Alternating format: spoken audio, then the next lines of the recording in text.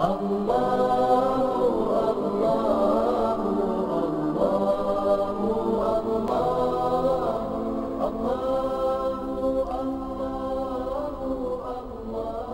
الله الرحمن الرحيم الحمد لله رب العالمين والصلاة والسلام على المبعوث رحمة للعالمين سيدنا ونبينا محمد وعلى آله وأصحابه وجنده وأحبابه وعلى من سار على دربه واستنى بسنته واقتفى أثره إلى يوم الدين أعزائي المشاهدين النفس المطمئنة لم يصل إليها صاحبها إلا بعد مجاهدة ومكابدة. فهل هي من المواهب أم من المكاسب؟ وهل الطريق ممهد للجميع كي تكون بين جنبيه نفس مطمئنة أم أن أصحاب النفوس المطمئنة هم من المصطفين الأخيار الذين سبقت لهم من ربهم الحسنى؟ نجيب على هذه التساؤلات بإذن الله تعالى بعد هذا الفاصل.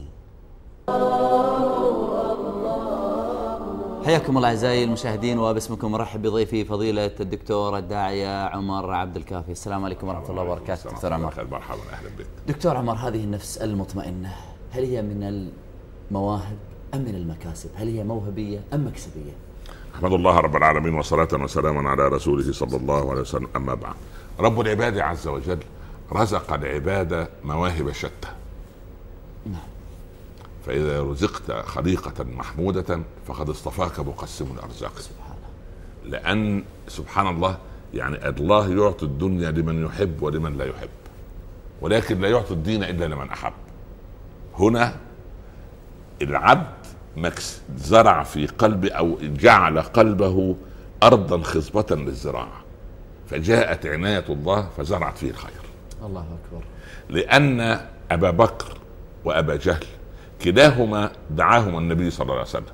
لم يخص الرسول صلى الله عليه وسلم أبا بكر بعشر دقائق زيادة وقصر مع أبي جهل أو أبي لهب. لا ده كما بلغ هذا بلغ هذا. ما الذي حدث؟ تربة أبي بكر قبلت المطر. وتربة أبي جهل ما قبلت المطر. فأثمرت عند أبي بكر أنصار صديق الأمة الله وأثمرت عند أبي جهل أنصار فرعون الأمة. هنا المكسبية. الله وهبهما فطرة الإيمان. لكن أبا جهل أنكرها وأبو بكر قبلها. يا أشج بني عبد قي- قيس إن فيك خصلتان يحبهما الله ورسوله. الحلم والأناة. قال أجبلت عليهما أم خلقت بهما يا رسول الله؟ قال بل جبلت عليهما. قال الحمد لله الذي جبلني على خلق يحبه الله ورسوله. طيب نيجي لمسألة المواهب والمكاسب نعم. تجد بعض الناس عصب المزاج. وبعضهم هادئ وبعضهم بارد الأحاسيس. بعضهم صلب الرأي. لأننا كما قلنا ربما في أول حلقة أن إحنا جئنا على قدر الأرض التي جئنا منها. يا جبريل اقبض لي أو اجمع لي قبضة من تراب الأرض. فجاء الخلق على قدر الأرض التي أتوا منها. منهم بطيء الغضب سريع الفيء ومنهم سريع الغضب بطيء الفيء. ومنهم سريع الغضب سريع الفيء ومنهم بطيء الغضب بطيء الفيء دي تعود إلى إيه طب نفصل شوية ولا نعم. نفصل نعم. شوية نحتاج. إن عندك أولاد في البيت ولد غضوب لأقصى درجة ولكن يهدأ فورا رجل عصبي ولكن إذا ذكرته كما سأل بلال رضي الله عنه خادم عمر طرق عليه الباب قال إن أمير المؤمنين نائم قال كيف تجدون عمر في البيت؟ قال إن أمير المؤمنين خير كله إلا أنه إذا غضب فهو أمر جلل. قال لو كنت عنده ساعة الغضب لقرأت عليه شيئا من القرآن فيسكن ما به من غضب. ادي مفتاح شخصية أدركه بلال في شخصية عمر.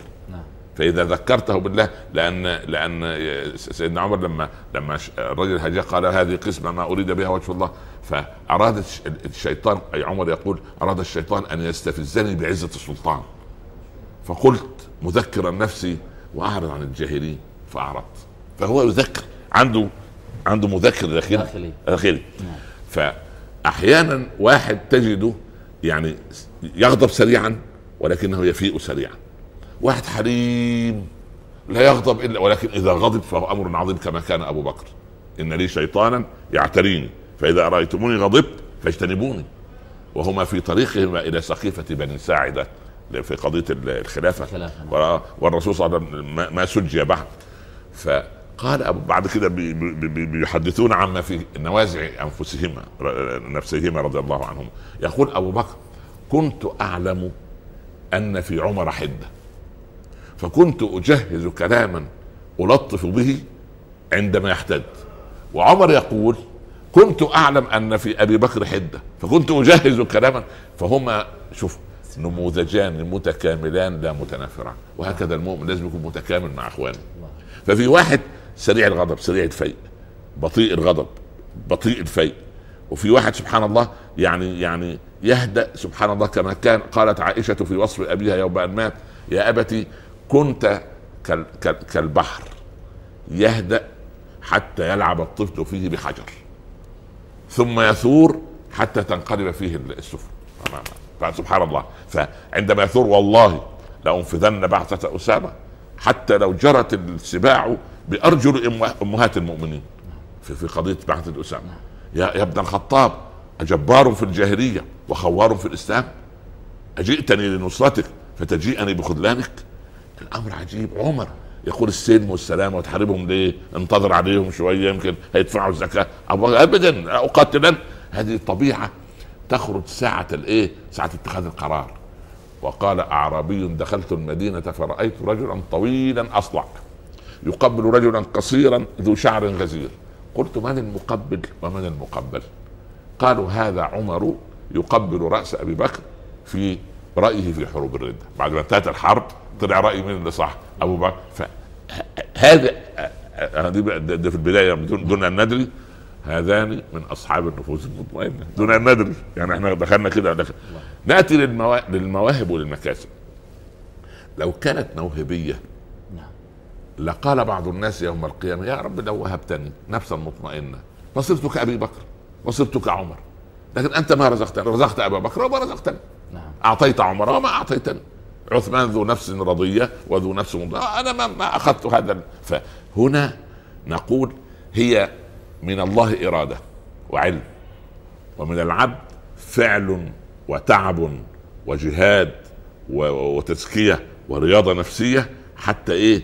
ما قال الشافعي استعصت علي نفسي قيام ليلة فصومتها سنة. طلب رمضان لإيه؟ ل 12 شهر.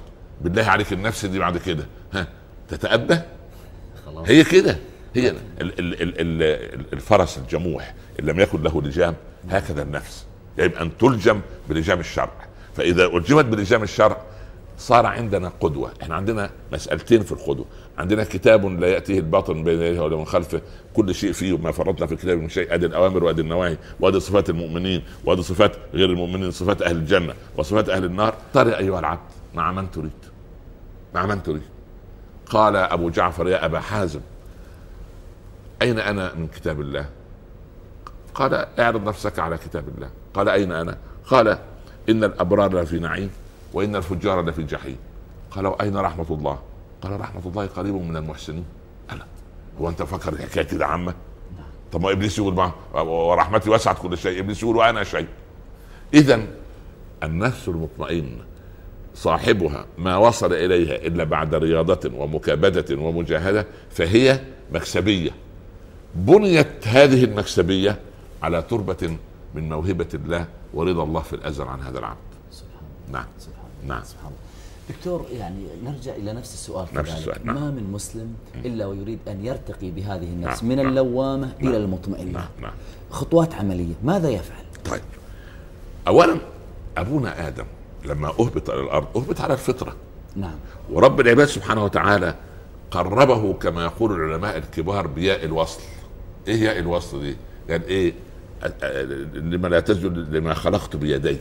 بيدي دي ياء وصل بين العبد وخالقه. الله فأنا موصول بالله طالما ما لم أبتعد.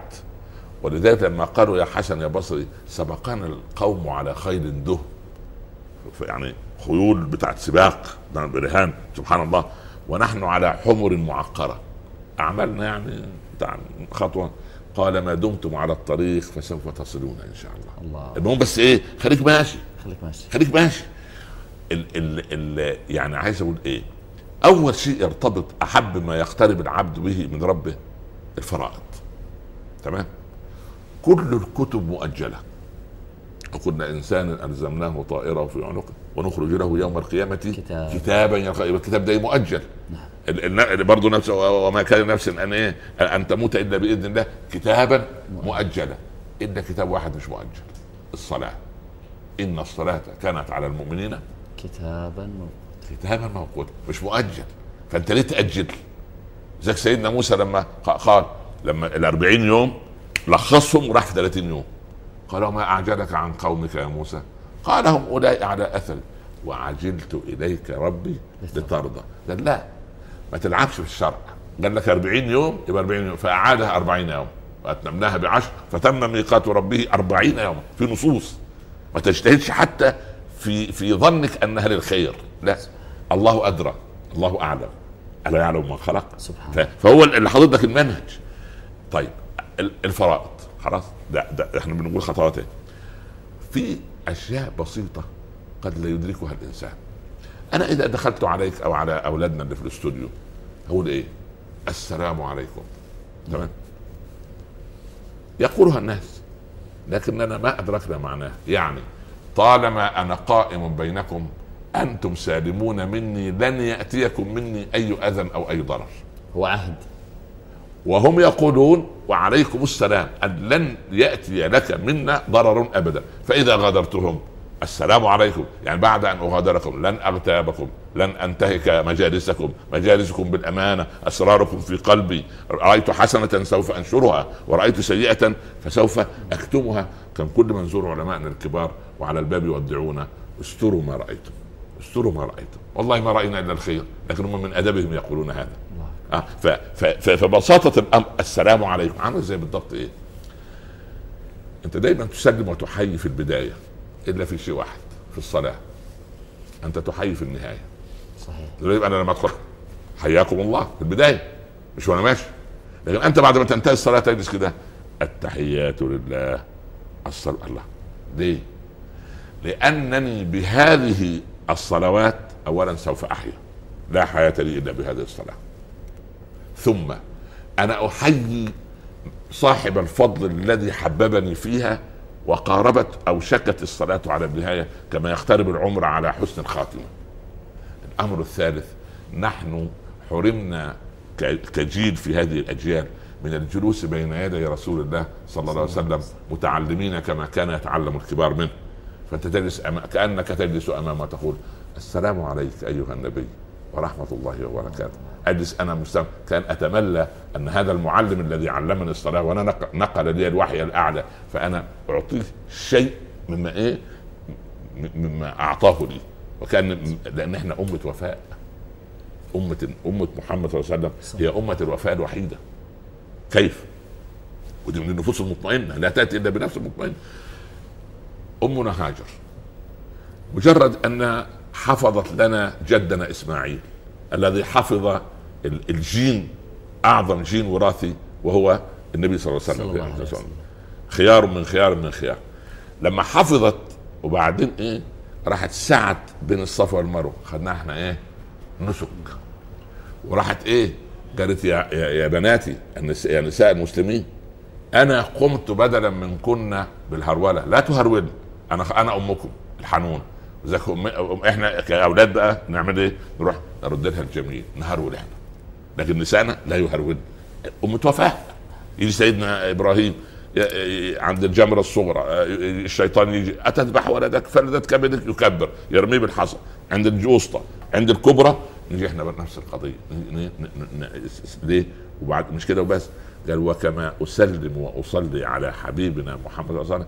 أصلي على إبراهيم وعلى آل إبراهيم لأن هو اللي إيه؟ وقف عند الكعبة وبنى الكعبة ورفع القواعد من البيت. ربنا واجعلنا مسلمين لك ومن ذريتنا أمة مسلمة لك. فلما استجاب رب العباد شكرنا من اجرى الله النعمة على يديه لأن نصلي ونسلم عليه وعلى آله. امه وفاء لا تكون هذه إلا من النفوس المطمئنة. النفس لما تطمئن سبحان الله العظيم عايز أقول إيه؟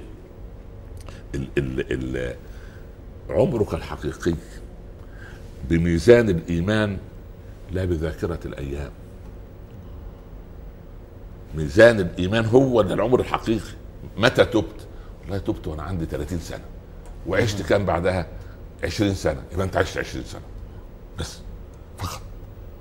بهذا المنطق يعني سحرة فرعون. لما تفتقت امامهم الحقائق وعرفوا أن موسى ده لا مش قدرة بشرية عادية لا خروا ساجدين. لو خط عنه واعمل واصلبنكم في ماذا؟ اقضي ما أنت قاض إنما تقضي هذه الحياة الدنيا. إنا آمنا بربنا ليغفر لنا خطايانا وما أكرهتنا عليه من السحر. والله خير وأبقى. هذه الجملة إذا عددتها الآن على العداد تطلع دق. 40 ثانية. نعم. 40 ثانية من الثبات على المبدأ أخذوا بها إيه؟ الله. نعيم الابدي كله. الله أكبر. فالنفس المطمئنة اللي هي إيه؟ اللي هي لما تتعامل مع الناس هو ليه المحبة في الله بتدوم ليه؟ لأن المحبة في الله فيها صفة عجيبة أنها لا تزيد بالبر ولا تنقص بالجفاء. لأنها مؤصلة. تتواصل أم لا تتواصل؟ المحبه موجودة. يعني بالله عليك من منا يستطيع أن يصف أبا هريرة؟ إلا الدارسين المتحققين كان قصيرا كان طويلا كان أجعل الشعر. إلا المشهورين زي عمر وأبو بكر. لكن القعقاع بن عمرو كيف كانت صفته؟ البخاري رضي الله عنه كيف كان وصفه؟ لكن إيه؟ أول ما البخاري تأتي في مخيلتي أتخيل الصلاح كله. وأقول إيه؟ أقول أبو حنيفة رضي الله عنه. قال مالك رضي الله عنه إمام أحمد رضي الله أنا ما رأيته. لكن إيه؟ هذا هو العمر الحقيقي. هو العمر ربما عمر اتسعت أماده. ولكن كثرت أمداده. المدد الحقيقي أن تترك. اذا كان ولد صالح يدعو له. وذلك لما ربنا سبحانه وتعالى في القرآن كله يأتي بالركوع قبل السجود. نعم. الركوع والسجود إلا في حالة واحدة. قال يا مريم اقنتي لربك واسجدي واركعي مع الراكعين. ليه؟ لأن هي حالة استثنائية في كله. لأنها حالة استثنائية في كل شيء. سبحان فتستثنى حتى في العبادة. اهو دول المصطفين الأخيار. هذول أصحاب النفوس المطمئنة. فأنا أقول أن الفرائض اللي سبحان الله يعني إيه كف الأذى. كف الأذى أن ما يكونش عليه ديون. الدين ذل بالنهار وهم بالليل. طب الديون للعباد التي لا الذين لا أعرف. ماتوا وأنا قد اغتبتهم ماتوا وأخذت حقوقهم ماتوا سبحان الله ذهبوا سافروا هاجروا. ها ماذا أصنع أنا؟ طب لماذا في الديون المادية أهتم؟ ولماذا في الديون الحقيقية يوم القيامة؟ تيجي هباء وقدمنا إلى ما عملوا من عمل فجعلناه هباء منثورا. يا الله هباء لا قيمة له. يؤتى بأناس يوم القيامة اخذتهم الملائكة إلى الجنة. إلى أين؟ يقولون يا ربنا لهم حسنات كجبال تهامة. يقول يا ملائكتي أنتم كنتم الرقباء على ظواهرهم وأنا كنت الرقيب على بواطنهم. ما ابتغوا ما عملوا ما عملوه وجهي وإنما ابتغوا خذوهم إلى النار. لأن عارف الملك؟ وده الأمر العجيب. الملك يكتب لي الركوع المضبوط السجود المضبوط. لكن الإخلاص لا يكتبه الملك لأن النفوس المطمئنة لها ثلاث صفات في الإخلاص. الإخلاص لا يطلع الملك عليه فيكتبه لأنه سر من أسرار الله ما فيش علاقة ما فيش علاقة بين بين العبد والملك فيها لا علاقته بين بين المخلوق والخالق. ولا الشيطان فيفسده قال له إلا عبادك منهم المخلصين. ويكون إبليس هو أحد شهود التبرئة لسيدنا يوسف. الا عبادك قال إنه من عبادنا المخلصين. قال له الا عبادك منهم المخلصين. وهو شهد والحق ما شهدت به الأعداء. تمام؟ والأمر الثالث العبد المخلص نفسه لا يدرك مدى إخلاصه فلا يغتر. الله ليه؟ ليه؟ لأن المخلصين الكبار رب العباد يرفع من أمامه العمل. اول ما يعمل عمل طيب يروح رفعه من أمامه. فينظر يا الله أنا مقصر أنا مذنب أنا بعيد عن الله. ادعوا لإخوكم. وهو إيه؟ كثير الحسنات. لكن الله من رحمته انه إيه؟ سبحان لأن الجملة تقول المؤمن يزرع ويخشى الكساد والمنافق يخلع ويرجو الحصاد. الله المستعان الله المستعان. دكتور عمر عبد الكافي ناخذ فاصل قصير ونعود إليكم أعزائي المشاهدين فابقوا معنا. حياكم الله اعزائي حياكم الله أعزائي المشاهدين ونتواصل معكم مع دكتور عمر عبد الكافي. آه، دكتور آه، يعني آه، فلنقم اليوم محكمة ونتحاكم مع الشيطان. الكل يتهم هذا الشيطان. الشيطان كان هو السبب الشيطان هو من دعاني الشيطان هو من أخذني الشيطان الشيطان.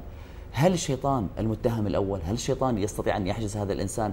ثم السؤال الذي يتبعه ما هي إمكانيات وحدود وأمور الشيطان؟ هو هل يستطيع أن يتدخل في كل شيء ويفصل ويأمر وينهى؟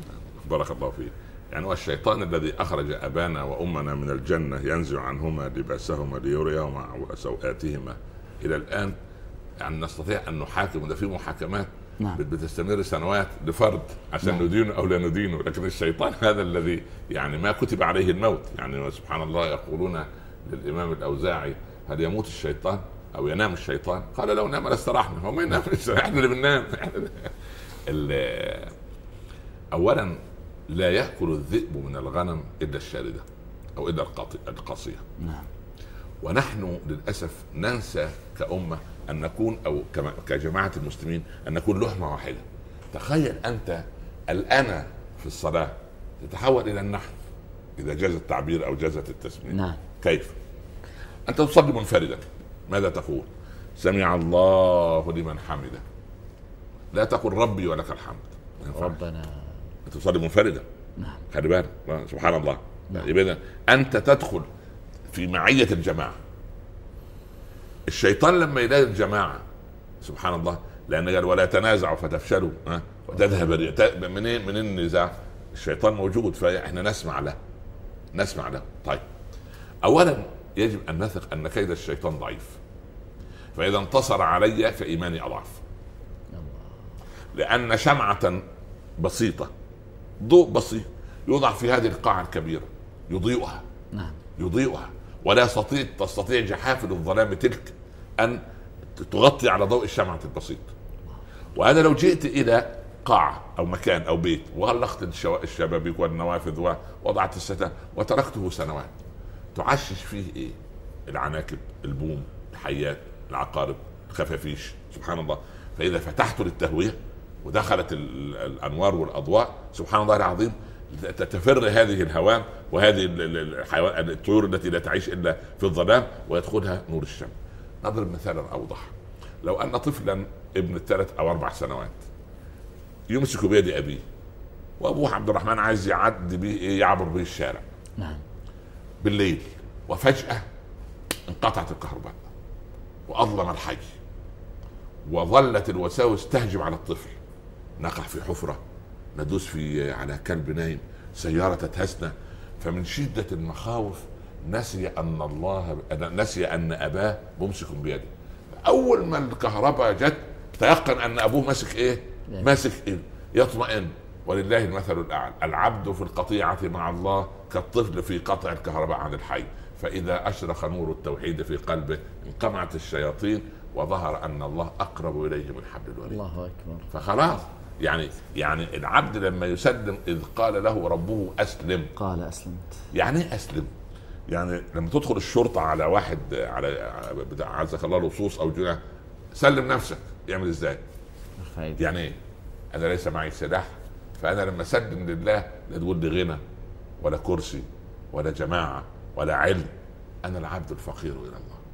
أنا لا أنا لا أسوي شيء. يا رب أنا أنا وأنت أنت. أنا العواد إلى الذنوب وأنت العواد إلى المغفرة. بس هي كده؟ إيه ده؟ اللهم عاملني بما أنت أهله لا تعاملني بما أنا أهله. أنت أهل التقوى. فالعبد لما يذل لله يبدأ يكبر يكبر يكبر والشيطان يصغر يصغر يصغر. يبقى إذا ما دور الشيطان؟ الشيطان يضع خرطومه على قلب ابن آدم. فإذا ذكر خنس يبقى أنت عندك الأنتيبيوتيك أهو عندك المضاد الحيوي. خليك في ذكر في معية الله. سبحان الله إن الله يدافع عن الذين آمنوا. يعني إيه؟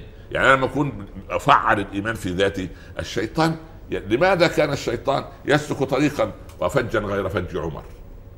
لأنه قوي العضلات لا القضية مش كده. القضية أنه قوي البنية الإيمانية. البنية الأساسية من الإيمان واليقين والتوكل وحكاية أنه إيه؟ أنه أنه أنه, أنه متواجد مع الكل.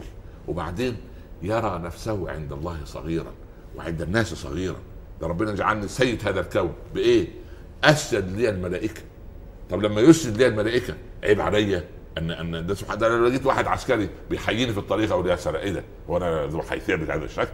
فما بال لما أن أفضل المخلوقات أنقى المخلوقات أطهر المخلوقات الذين لا يعصون الله ما أمرهم يعني سجدوا لي في صوره أبي آدم.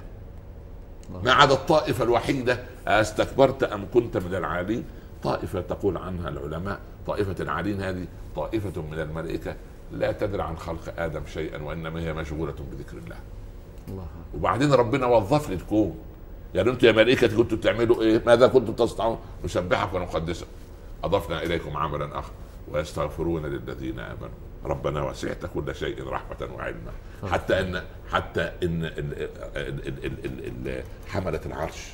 عشان يظن ظن إيه؟ يعني إيه؟ والذين يحملون العرش من حوله يسبحون بحمد ربهم ويؤمنون به. الامام الزمخشري يقول كلام عجيب. يقول ويؤمنون به والإيمان لا يكون إلا بغيب فإن حملة العرش ما رأوا رب العباد عز وجل. أحسن يروح دماغك كده ولا كده؟ كل ما خطر ببالك فالله بخلاف ذلك ما كان محمد بن عبد الله صلى الله عليه وسلم ليلة المعراج أقرب إلى ربه من يونس وهو في بطن الحوت لأن الله. لا يحيط به مكان ولا زمان. ليس كمثله شيء عشان تشيل التهويمات الإيه؟ الخاصة. على العقل يعني ادراكه محدود. فلما عقلك ادراكه محدود اترك العنان لقلبك. والقلب لما يرفرف في ملكوت الله يعني يعني قلوب العارفين لها عيون. ترى ما لا يراه الناظرون وأجنحة تطير بغير ريش إلى ملكوت رب العالمين. ناس سائرة نحو الله. فالشيطان بالنسبة له لا يعطله. بالعكس. يقول لك أنت لو لو يعني يقال أن في نوع من من الفهود أسرع من من, من نوع من الغزلان أسرع من من, من كلب الصيد. آه، فكلب الصيد أسرع منه. فالغزال لما يجري قصة رمزية تقول الغزال يقول له لن تلحقني. يقول كيف؟ أنا أسرع منك. يقول له أنا أجري وأهرب لحساب نفسي وأنت تجري لحساب صاحبك. انت بتشتغل عند حد تاني. فالمخلص غير اللي إيه؟ اللي لما جابوا زيت الزيتون وحطوه في آه، كوب كأس الماء. فطفى زيت الزيتون فوق الإيه؟ الماء. فالماء حصلت له غيرة. قال كيف؟ أنا الذي رويت شجرتك وأنا الذي انبت أمك الشجره نعم. ثم لما توضع معي في مكان واحد تتعالى علي؟ قال أيها الماء لا أنكر شيئا من ذلك. أنت سرت في رضراض من الأرض ولكن أنا لما تحملت ألم العصر والهصر ارتفعت. الله أكبر. دكتور عمار عبد الكافي الحديث لا يتوقف ولا يمل معكم إن شاء الله والأسئلة نتواصل فيها مع هذه النفس الجميلة النفس المطمئنة جعلنا الله وإياكم من أهلها. جزاكم الله خير. أما درس الدكتور عمار عبد الكافي الليل بإذن الله تعالى بمسجد كعب بن مالك في الغرافة.